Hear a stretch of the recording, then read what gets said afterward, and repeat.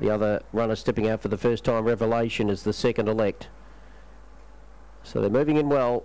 First heat of the Vicbred Maiden Series. There's your green light. 460 metres, race two for the night. Favourite drawn in seven.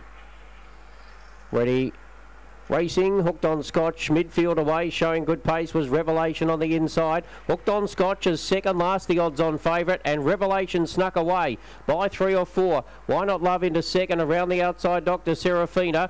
Then well back in the field was hooked on Scotch. Wide was greatest showman, galloping Coxie, but around the home quarter, it's Revelation revelling in front, and Revelation will win it by about eight lengths.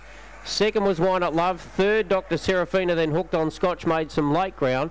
Further back, greatest showman, Galloping Coxie. Well back there was Miss Potential, and then Dr. Da Vinci at the tail. And the race time is a brilliant 25.68. First up for Revelation.